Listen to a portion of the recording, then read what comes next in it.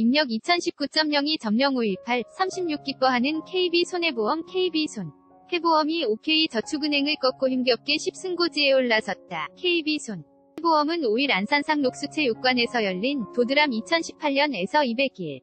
9V 리그 남자부 OK저축은행과의 경기에서 3에서 0, 28에서 26 25 1816의 2사 으로 승리했다. 시즌 10 승 18패 승점 3 0을 기록한 KB손해보험은 여전히 6위에 자리했다. KB손해보험 펠리페 23점, 황두연 11점, 이 승리를 쌍끌이했다. 펠리페 는 60%에 육박하는 공격 성공률을 자랑했고 황두연은 서브 에이스 5개 블로킹 득점 2개를 곁들였다. 5위 OK저축은행은 시즌 14승 1 4패 승점 42로 5할 승률에 턱걸이했다. OK저축은행 요스바니 21점, 는 트리플 크라운을 달성했지만 팀의 패배로 빛이 바랬다. 조재성은 13점을 올렸다. KB손해보험은 1세트 초반 집중력을 발휘 했다. 펠리페를 앞세워 1세트 중반까지 근소한 우위를 점한 KB손해보.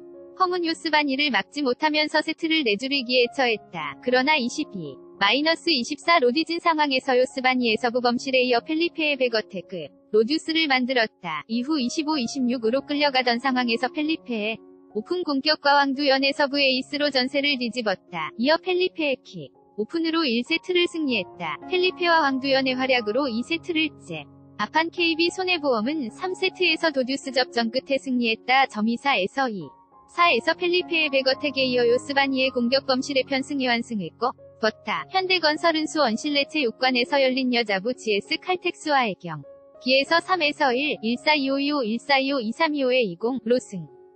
리에따 점삼 연승을 올린 5위 현대건설은 시즌7 승 17패, 승점 22. 를 기록해 최하위 KGC 인삼공사 5승 18패 승점 17와의 격차. 를 더욱 벌렸다. 이번 시즌 두 번째 3연승이다. 현대건설은 이번 시즌 G.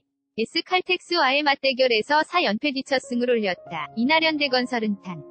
탄한 수비를 기반으로 마야와양 요진 이전위에 서맹활약을 펼쳤다. 현대. 건설마야 28점, 양효진 25점, 정지윤 14점, 이승리. 를 이끌었다. 또한 이들은 블로킹 득점 11개를 압작했다. GS 칼텍스. 는 시즌 14승 9패 승점 40 이렇게 3위에 머물렀다. 알리가이 4점을 올리며 분전했지만 다른 선수들의 득점 지원이 부족했다. 고 피라이츠 한국 언론 뉴스허브 뉴시스 통신사 무단전제. 미제 배포금